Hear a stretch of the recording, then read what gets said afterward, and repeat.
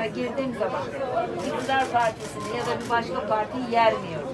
Kendi partimi övmüyorum. Propaganda yapmıyorum. Sadece sizi konuşuyorum. Başladık böyle. Sonra pandemi geldi hayatımıza. Gene de bugün işler nasıl? Anlamak için geziyorum. Var maşallah. Okuyor musun sen? Nerede? Buradayım. Mehmet Akif. Lisede mi? Onu söyle. Yo, ortaokul. Sekizinci Ya orta. Ha, eee, evden eğitim görüyorsunuz Evet, siz de? iki yıl öyle. Nasıldı? Ya çok zordu, anlamakta çok zordu. Bilmiyorum artık lisede iyi misin? Bu le- şeye hani sınavına gelecek mi gireceksin? Bu yıl gireceğim. Bu yani bu önümüzdeki yıl gireceksin. Ha, tamam yanlış sordum soruyu. Nereye istiyorsun? Sarı Saltık'a gitmek istiyorum. Sarı Saltuk ne?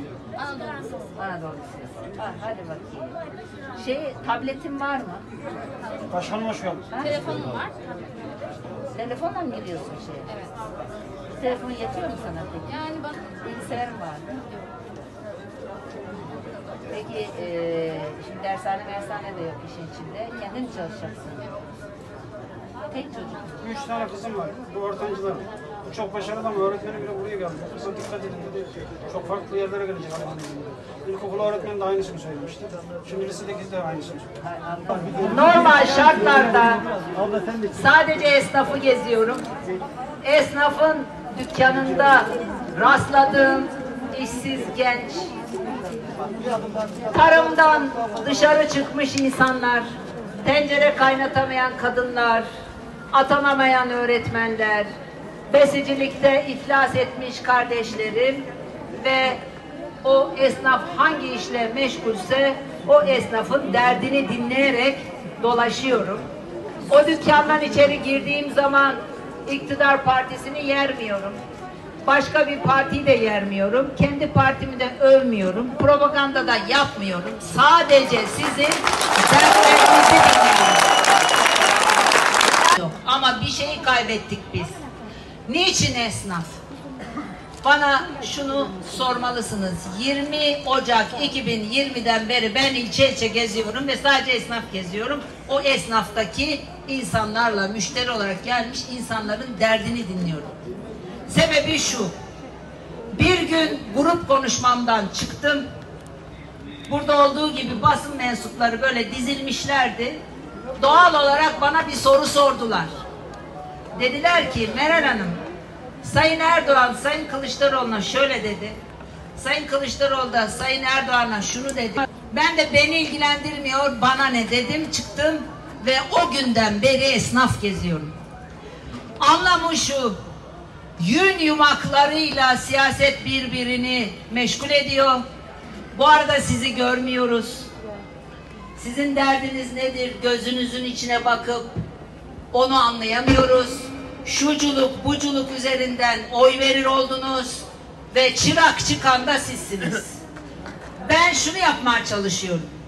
Ben de dahil her siyasetçi buraya gelmeli ve sizinle, sizin dertleriniz üzerinden, onlara çözüm üzerinden konuşmalı. Notlarınızı, bizimle ilgili vereceğiniz notları onun üzerinden vermelisiniz. Bütün bu bu işletmelerin sahipleri burada çalışanların tamamının müşteri veli nimeti.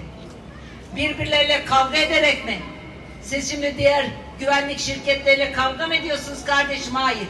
Daha iyi hizmet vererek rekabet ediyorsunuz. Doğru mu?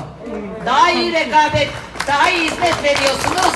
Ekstra hizmetler veriyorsunuz. Sizi tercih etmelerini sağlıyorsunuz. Ahan da işte hepimizin atladığı, çırak çıktığı yer burası. Hepinizin ve hepimizin. Biz siyasetçiler de hizmet üzerinden rekabet etmeliyiz. Bucuymuş bu bucuymuş. Sizin tencerenizi kaynatmıyor bunlar. Çocuklarınıza iş, çocuklarınıza iş. Bakın bu kavgalar, bu tür bu tür mücadeleler sizin tencerenizi kaynatmadığı gibi işsiz gencinize, işsiz çocuğunuza iş, istihdam yaratmıyor. Zincir marketleri ortadan kaldırmıyor. Esnafın derdine deva olmuyor. Ben esnafı dinledikçe, esnafta karşılaştığım onların müşterilerinin derdini dinledikçe önce grup konuşmama koydum. Ağların dikkatini çeksin diye. Arkasından arkadaşlarım, milletvekili arkadaşlarım biliyorsunuz ben milletvekili değilim, mecliste değilim. Milletvekili arkadaş önergeleri verdiler ve biz sizin dertlerinizi düzenli gündemde tutmaya devam ettik. Cumhurbaşkanı. Yok yapmayın şimdi bak onları yapmayın sağ olun sizi konuşuyoruz bak gaza getirmeyin beni katiyen gaza gelmem.